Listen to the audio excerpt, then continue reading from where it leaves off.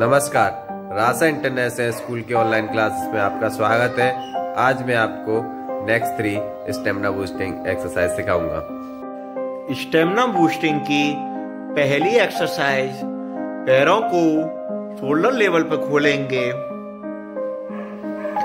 अब दोनों हाथ आपके सर के पीछे जाएँगे। अब आपको बैठना है चेयर पोजीशन में। ध्यान रहे, आपके घुटने आपके पंजों से आगे नहीं निकलेंगे। फिर आप ऊपर आएँगे लाइक दिस अब इसे आप कंटिन्यूस करेंगे। ये आपको तीन सेट में करने हैं। हर एक सेट में आपको मिनिमम ट्वेंटी रेपिटेशंस लेने हैं। स्टेमिना बूस्टिंग के लिए बहुत ही अच्छी एक्सरसाइज स्टेमिना बूस्टिंग की दूसरी एक्सरसाइज दोनों पैरों को शोल्डर लेवल तक खोलेंगे।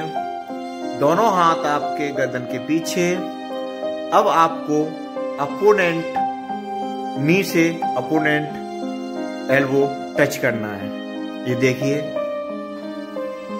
ये एक्सरसाइज आपको तीन सेट में करनी है। हर एक सेट में मिनिमम ट्वेंटी रेपिटेशंस लेने हैं। इसे फास्ट करेंगे।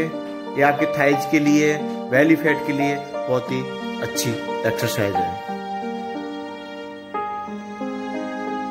स्टेमिना बूस्टिंग की तीसरी और आखिरी एक्सरसाइज अभी हमने पहली वाली एक्सरसाइज में देखा था कि हमने पैर शोल्डर लेवल तक खोले थे। अब इसमें पैर मिले रहेंगे पंजों के साथ में।